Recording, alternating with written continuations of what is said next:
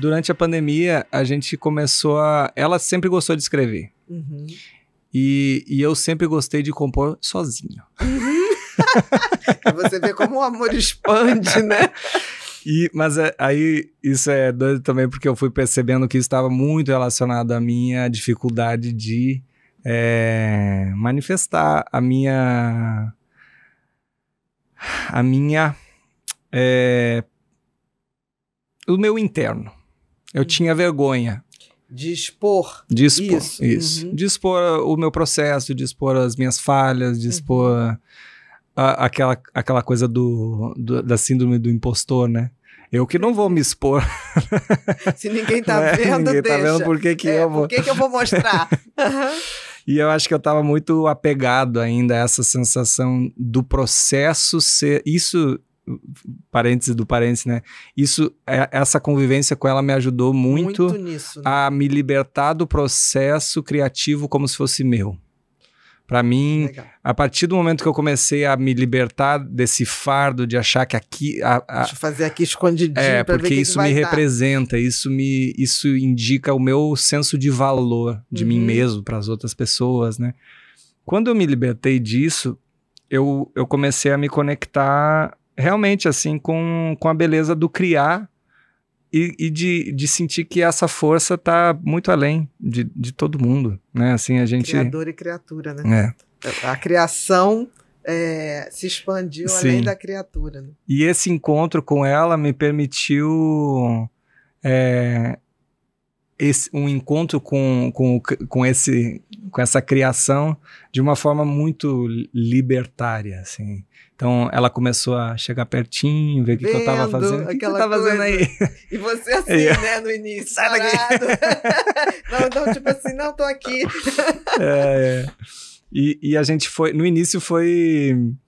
Foi. Era meio cotovelada pra cá, o X pra lá. Aham. desencontro de, de processo egóico mesmo, essa coisa da, da gente se validar no, na ideia. Era assim, ah, não gostei dessa ideia, Uhum. o outro ficar chateado. Então tinha essa esse esse lapidar ali. Depois que, que ambos entendemos que aquilo ali era um processo Era além, né? além da gente, se tornou uma gostosura. Era o nosso passatempo durante a pandemia. A gente combinava assim, depois do almoço, Vamos sentar. a gente tem um cafezinho com. Vamos fazer uma música. E era todo dia. A gente Aham. fazia.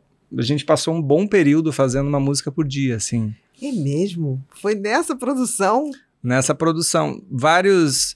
Várias faíscas de ideia. Aí ela trazia textos que ela tinha escrito, eu trazia rascunhos de violão que eu tinha. Uhum. A gente falava sobre alguma coisa. Ah, vamos escrever isso aqui, dá um bom tema. Tem uma música que eu lancei agora recentemente que foi em parceria com a Ludmilla, chama Zangadinha. Zangadinha. É. Essa música foi, foi uma. Foi. brotou num desses cafezinhos pós-almoço que, a Uhum. que, em algum motivo, um ou outro, eu não lembro como é que foi exatamente, mas alguém tava meio emburrado, meio de cara fechada por algum, qualquer, Por algum qualquer motivo. besteira.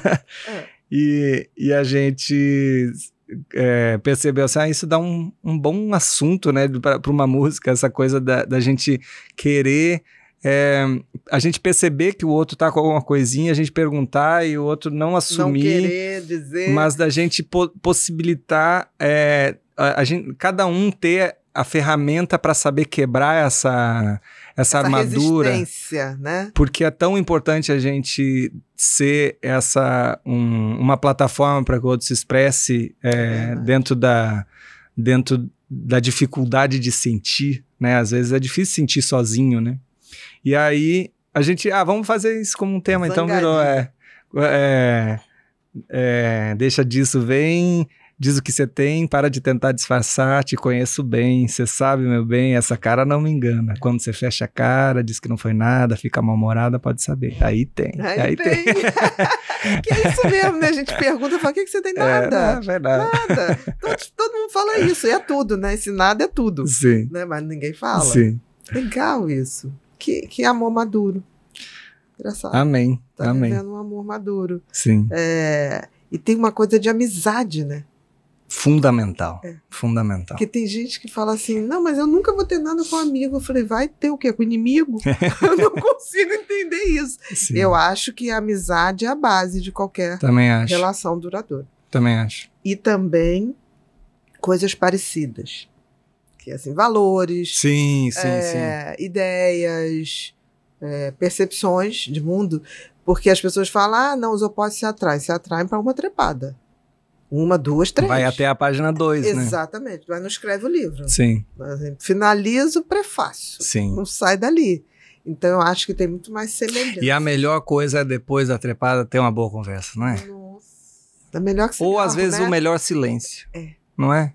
Mas você só faz um silêncio confortável com quem você ama. É. Porque não precisa ser dito. Sim. Tá, tá quase assim, as palavras estão passando por cima, um ou outro vai. Ah, peguei uma palavra agora. Sim. e a pessoa fala, tava pensando nessa palavra agora, sabe? Sim. Isso é o auge da intimidade. Sim. Isso é intimidade.